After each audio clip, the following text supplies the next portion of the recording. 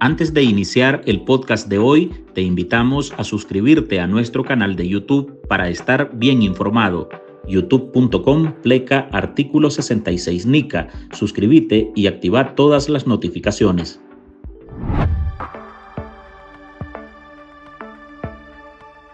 Esta mañana surgen nuevas revelaciones sobre cómo Rusia habría planeado los ataques con explosivos en aviones hacia Estados Unidos y sus aliados. Este martes 5 de noviembre es el día cero para Estados Unidos. Mañana, en un programa especial de La Voz de la Mañana y Despierta América, titulado El día después, que se transmitirá en vivo a partir de las 7 de la mañana hora del Este, 4 de la mañana hora del Pacífico. 244 millones de estadounidenses están llamados a votar para elegir a su presidente 47.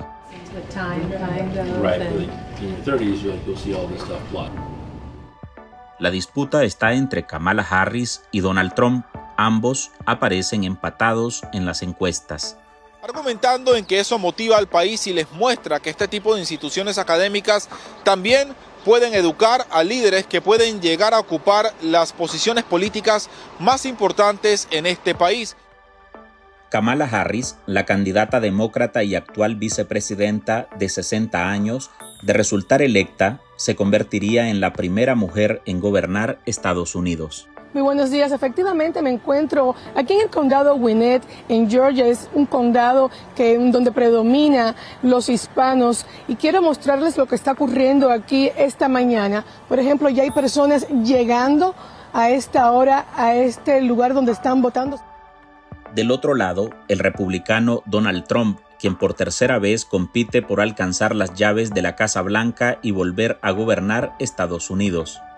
El multimillonario Trump, de 68 años, estuvo al frente del país norteamericano entre el 2007 y el 2021.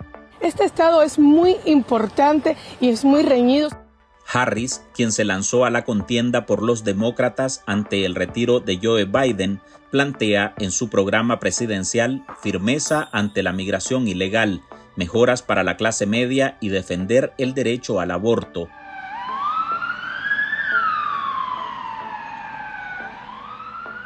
Trump, por su parte, promete devolver el crecimiento económico, restaurar la paz en Europa y reforzar la frontera y prevenir una invasión de inmigrantes. Ha dicho que si conquista el poder llevará a cabo la mayor operación de deportaciones en la historia de los Estados Unidos. One day, one or sooner, that if they don't stop this onslaught of criminals and drugs coming into our country, I'm going to immediately impose a 25% tariff on everything they send in to the United States of America. Frente a estos planes de los dos contendientes, los nicaragüenses migrantes en Estados Unidos tienen un enorme reto sobre todo para los que aún no han regularizado su situación en ese país. Harris y Trump apuntan a endurecer sus políticas migratorias. Cerca de medio millón de nacionales están afincados en territorio norteamericano. El señor Donald Trump, racista, enemigo de las mujeres, enemigo de, de los latinoamericanos, enemigo de todo lo que huela a indígenas otro que tampoco tendrá el camino fácil es el régimen de Daniel Ortega y Rosario Murillo. Trump, durante su mandato, inició a aplicar sanciones contra la dictadura de Managua por violar derechos humanos de forma masiva y por los múltiples señalamientos de corrupción. Trump empieza a gritar que le están robando la elección, que es un fraude. Así, con esas palabras, esto es un fraude. Esa política de castigo prosiguió con los demócratas. Si Harris consigue la silla presidencial, lo más probable es que mantenga las sanciones actuales, el aislamiento internacional y la lucha por bloquear préstamos a la tiranía sandinista. Los imperialistas, claro que nos han afectado con lo que ellos llaman sanciones. Hola, soy Álvaro Navarro y hoy en el podcast Ahora de Artículo 66 le presentamos Kamala Harris o Donald Trump, ¿qué le espera a la dictadura de Daniel Ortega?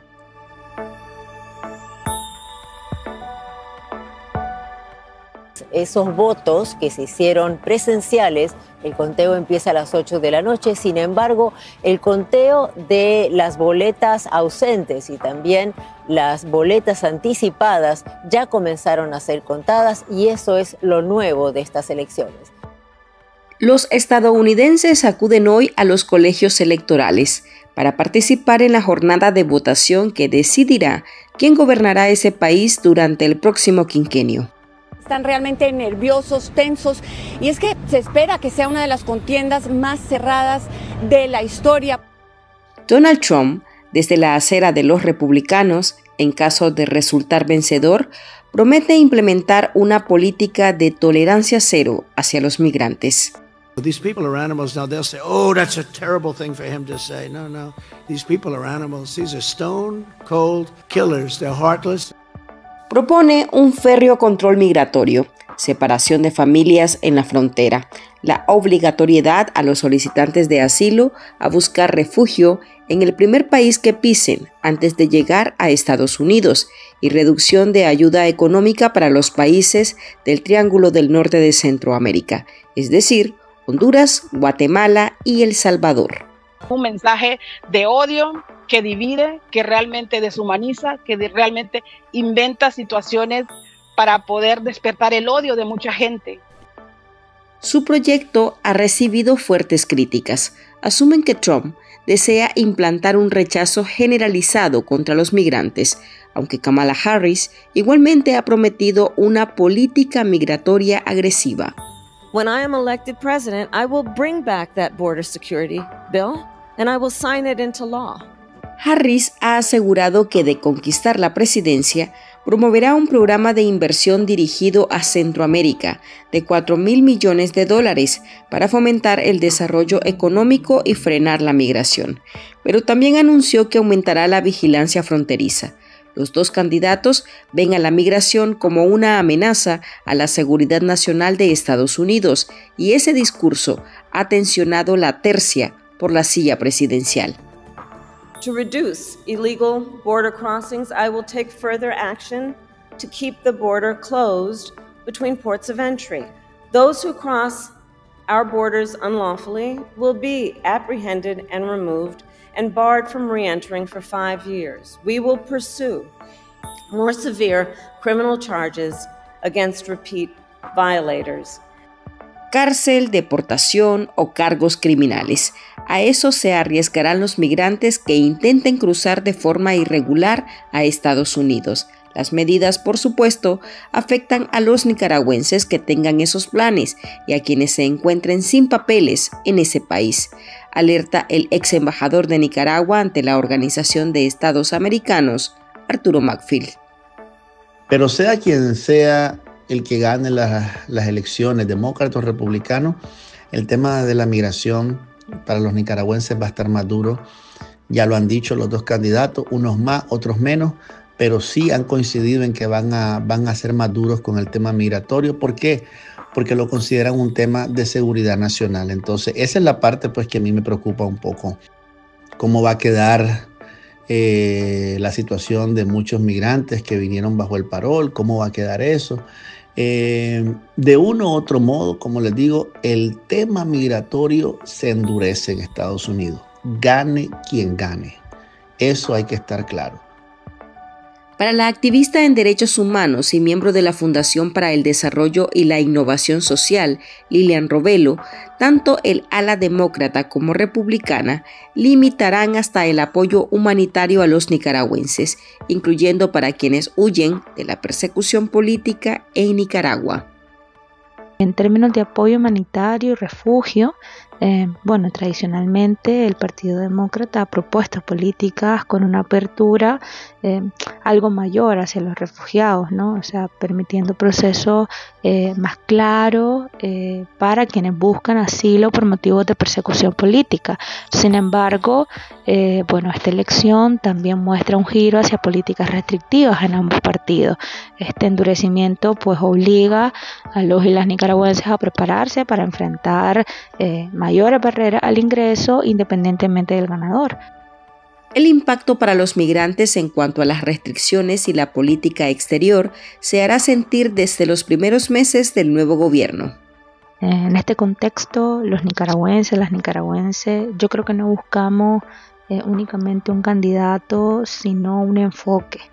Eh, un enfoque que proporcione tanto estabilidad en vías humanitarias eh, como en términos migratorios ante pues la migración forzada que viven actualmente, que vivimos actualmente los nicaragüenses y las nicaragüenses. Entonces, analizando esos dos puntos, uno, en términos de política migratoria, ambos candidatos, tanto Kamala Harris como Trump, eh, han expresado una postura de mayor control migratorio, lo que implica, obviamente lo que complica el panorama para quienes huyen tanto de la crisis política, social en Nicaragua como económica, ¿no?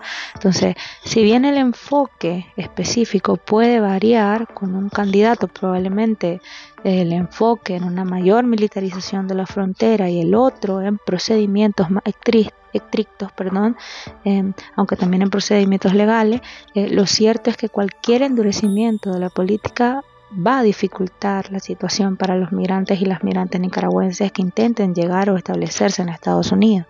Le van a aplicar a Nicaragua la NICAD desde cuándo lo vienen diciendo. Bueno, ¿y si la aplican qué? Otro que la tiene complicada es el régimen Ortega Murillo tanto los demócratas como los republicanos están claros del tipo de dictadura que se ha enquistado en Managua y no parecen dispuestos a ceder ante ese régimen tiránico. Estados Unidos ha impuesto sanciones contra una treintena de sus funcionarios y cerca de una docena de sus instituciones, aunque con Trump a la cabeza podría irle peor. Eh, si gana em, el Partido Demócrata no van a haber muchos cambios en cuanto a la política hacia la dictadura de Nicaragua. Pero si gana Trump, sí van a haber cambios hacia la dictadura de Nicaragua.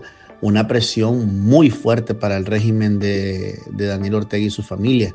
Y sanciones que no solo van a estar eh, plasmadas en el papel, sino que van a tener un impacto muy poderoso sobre, sobre lo que pasa en Nicaragua. Entonces, por un lado, pues eso, eso es, lo, que, lo que más me inquieta como nicaragüense, ¿no? Eh, si gana el Partido Republicano, definitivamente que le van a caer sanciones más fuertes al régimen y que va a haber una presión muy fuerte sobre Ortega en el que se le van a acabar los días de fiesta. Eso es lo que yo vislumbro en, el panorama.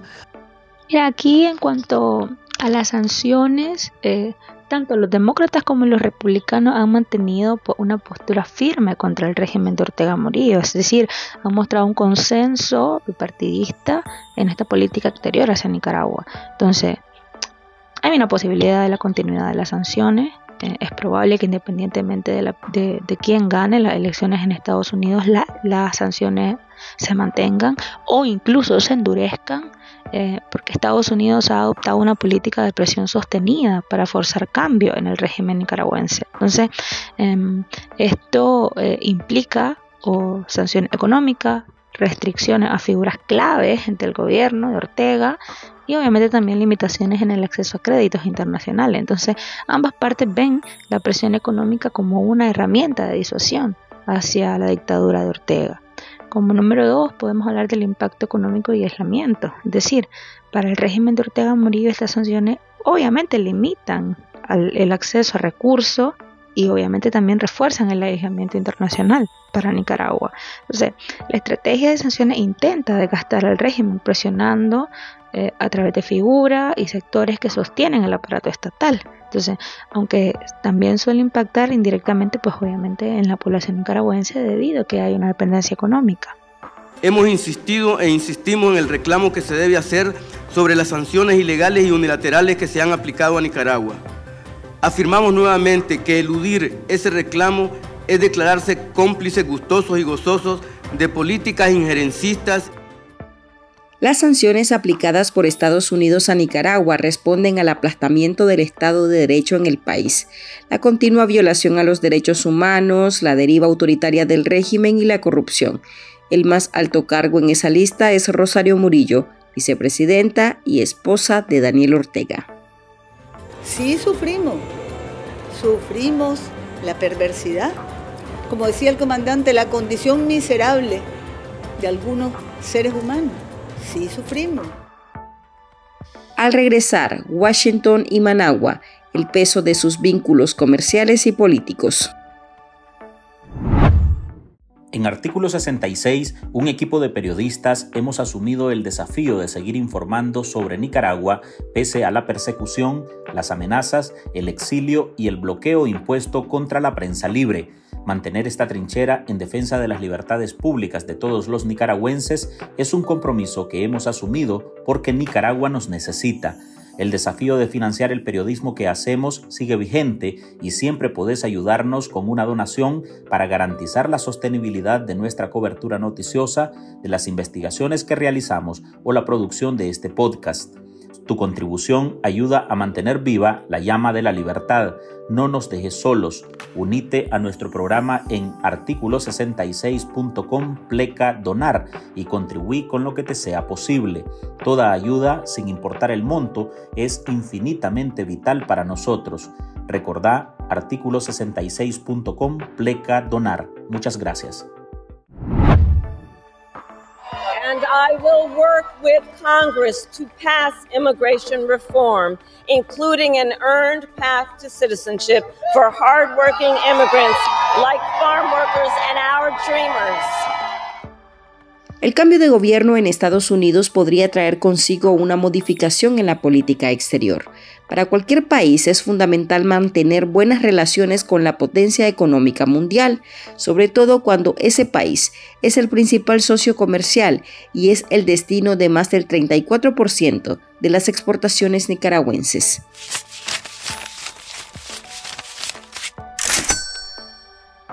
La economía de uno de los países más empobrecidos del continente se apoya en ese mercado dependencia económica de Nicaragua en Estados Unidos. Estados Unidos es el principal socio comercial de Nicaragua, una fuente vital de ingresos y recursos económicos para el país.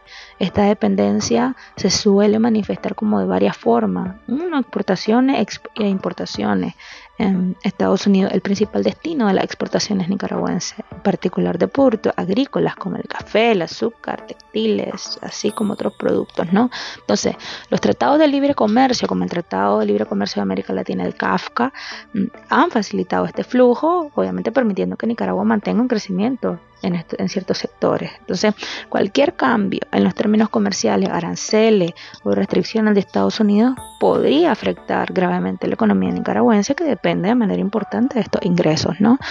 Y como punto número dos en este ítem, eh, las remesas.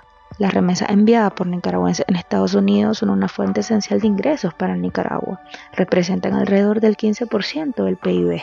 Entonces, estas remesas permiten a muchas familias cubrir sus necesidades básicas y sostenerse económicamente, y más ahora en este contexto tan grave de crisis económica, social y política que vive el país. Entonces, un endurecimiento en las políticas migratorias que limite el acceso o estabilidad de los migrantes nicaragüenses en Estados Unidos podría impactar severamente en esta fuente de ingresos y obviamente en consecuencia la economía de Nicaragua, ¿no? Después de la larga noche electoral y una vez se cumplan los mandatos constitucionales, se sabrá quién reemplazará a Biden. Cuando se asuma el nuevo mandato, se conocerán las prioridades para el gobierno y qué política dirigirá hacia Nicaragua, pese a que el mundo tiene los ojos puestos en la guerra entre Rusia y Ucrania, los conflictos en Oriente Próximo y el aumento de la migración el 13.8% de la población total de Estados Unidos es inmigrante.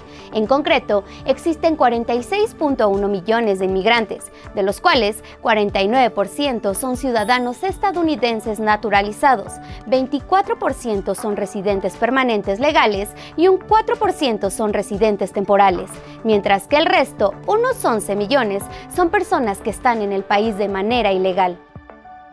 Hasta aquí llegamos con esta edición de nuestro podcast ahora de este martes. Gracias por compartir en todas sus redes sociales y recuerde que en artículo 66 seguimos comprometidos con investigar la corrupción y publicar los hechos que nos afectan como país. Usted lo puede hacer con nosotros. Su aporte a este medio de comunicación es valioso y puede dejarlo en artículo 66.com diagonal donar. Soy Álvaro Navarro, nos oímos en el próximo episodio.